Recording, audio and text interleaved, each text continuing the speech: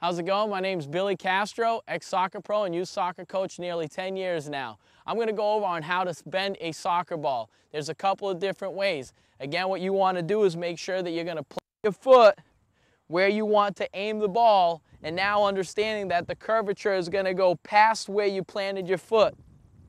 So what you want to do is you want to come across with your other foot, bend it over, bend it over sideways and diagonal, and you want to come across the ball just like a golf ball and a golf club and slice through the ball and make the ball curve over. You can do it in ways with the inside of your foot and you can also turn your foot outside and make the ball curve uh, to the outside goal. Again, these are more advanced as you become a, a, better soccer player and do a lot of training, and are out there on your own, you can start working on it little by little.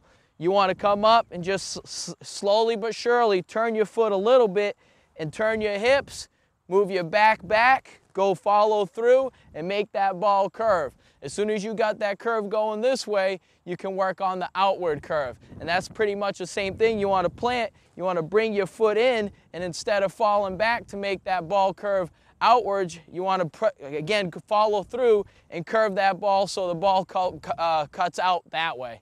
So again, let's go over it again. You want to plant your foot, get your hips over it, turn your foot diagonal, cut through the ball and uh, arc your back back a little bit so the ball has a little bit of curvature going outwards.